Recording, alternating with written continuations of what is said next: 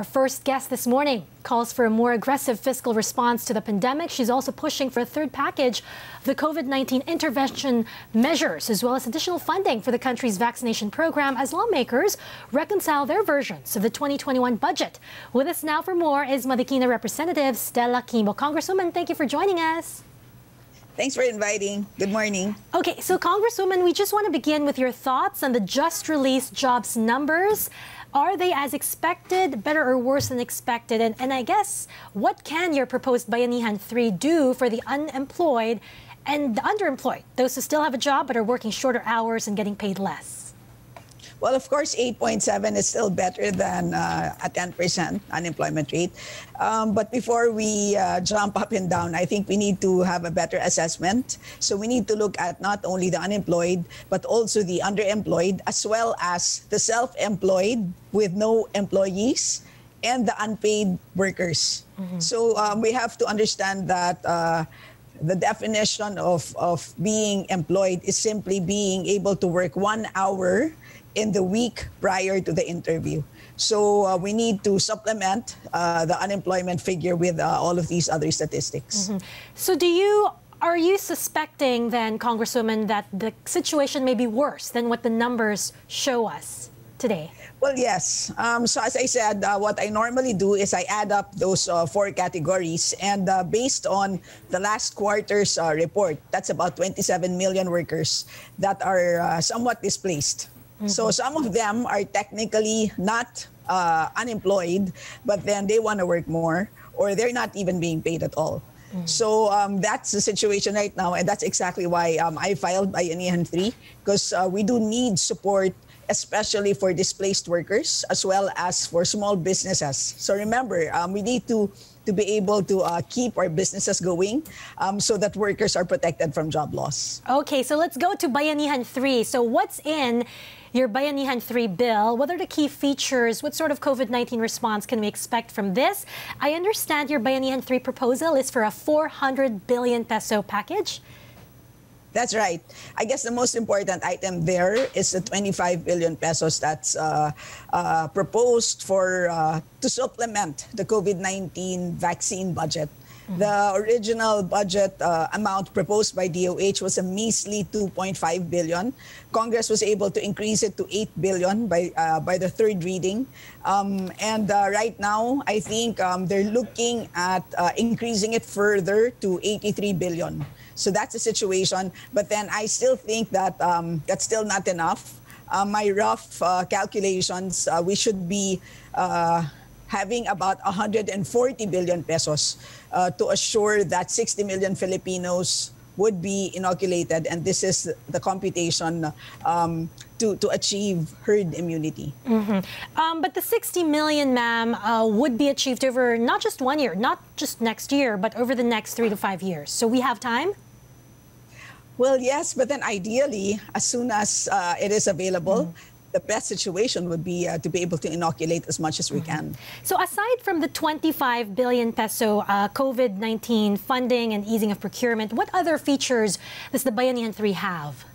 Well, since we're talking about unemployment, I uh, proposed a 100 billion peso fund for worker subsidies. And this would range from subsidies for testing workers, right? Because this would um, sort of uh, uh, increase the confidence levels of our workers, right? So many of them don't even want to report to work, even if uh, that would mean not being able to bring home their daily wages for fear of um, contracting COVID. So testing is uh, very important, and many companies are spending on testing uh, for their workers. So we want to to help both workers as well as the businesses. Mm-hmm. Um, that's one, and two. Um, the, the worker subsidies are also intended for paid sick leaves. Hmm. So just in case a worker contracts COVID, we want to assure the worker that his salaries would be paid.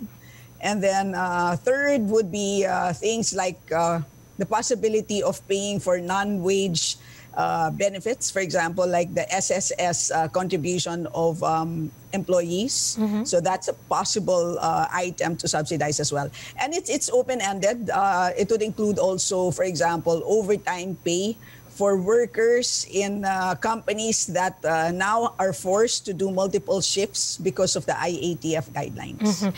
And I notice here in the chart there's also a 30 billion peso uh, allocation for unemployment assistance and cash for work. Yes, that's right. So a lot of workers have been displaced since the beginning of the pandemic.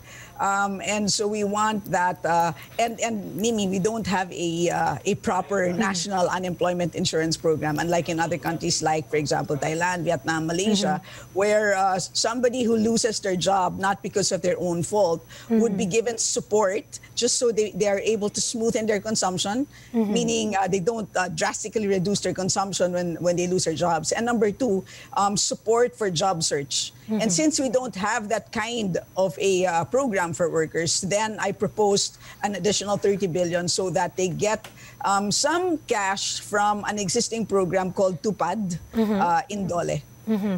Uh, interesting stuff. Um, but Congresswoman, you know, this Bayanihan 3 is happening, um, negotiations are happening as we also wait for the 2021 national budget. Could you walk us through the math that is the 2021 budget and why you think it's insufficient to address the day's challenges? Uh, I guess we start with a health budget. And many people are asking, you know, during a pandemic, isn't it common sense to give the DOH a substantially bigger slice of the pie? That's right. The first reason is that the budget call ended in June 1. So, mm-hmm. budget call means um, that agencies are supposed to submit their proposed budgets to the DBM, and the DBM will collate all that.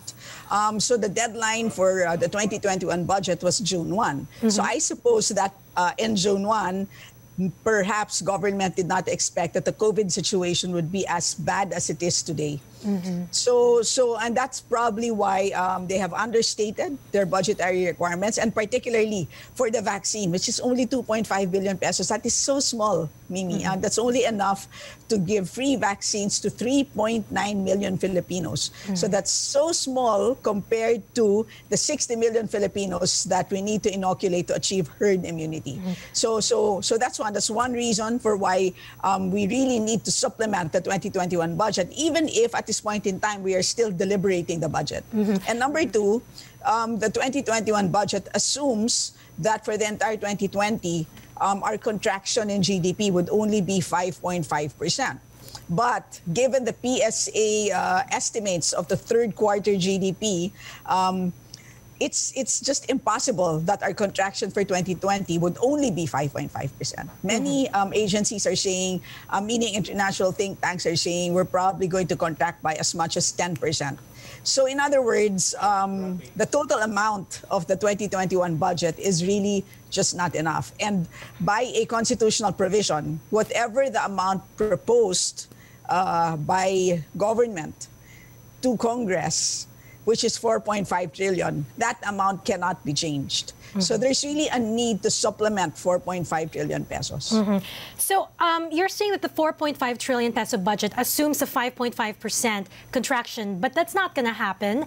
Uh, how much money do we need for the budget, for a COVID budget? Assuming that we might actually contract more than 5.5, 6 to 10% this year you know, for me, Mimi, as long as we have enough funds for the vaccine, because remember, the vaccine is going to provide us a permanent mm-hmm. solution mm-hmm. to COVID.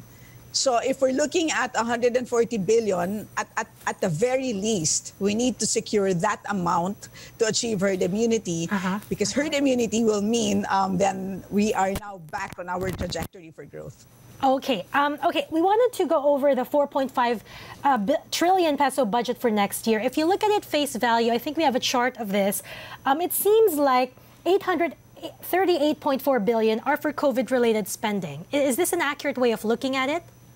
Well, that's according to the DBM. Mm-hmm. So um, when I asked them how much is the COVID response, it's lodged in the 2021 budget. That's the response. But if you look at all of these items, there's a big amount there, 589.8, which is lodged with the DPWH. And Mimi, this has been planned. This is um, under build, build, build. Whether or not the pandemic happened, we would have this amount.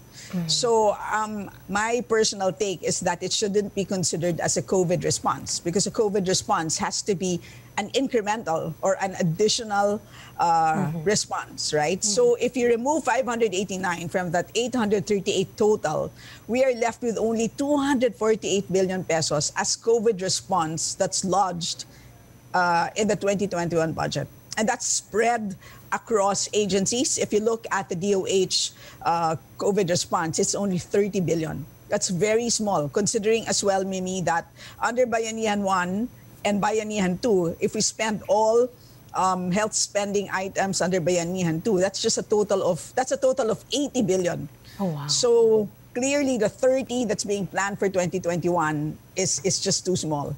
Okay. A final question, Congresswoman. When do we expect the Bayanihan 3 to be enacted? Oh, so at, at the moment, we still have to consolidate uh, different versions of the bill. So um, the group of Congressman Joey Salceda, Kong Sharon as well as our Majority Floor Leader Martin Romualdez also filed their own version. So now uh, that we have a TWG, we need to consolidate that. That's a process.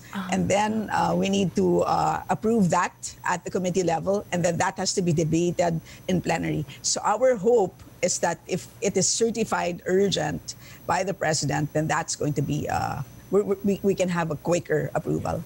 Quicker by, by quicker, we mean by early next year or before the year is out? Well, hopefully, you know, seriously, if we can have it as soon as we pass the budget, then that would be ideal. Okay. On that note, thank you very much, Congresswoman Stella Quimbo, for joining us this morning. Good luck, ma'am. Thanks. Good morning.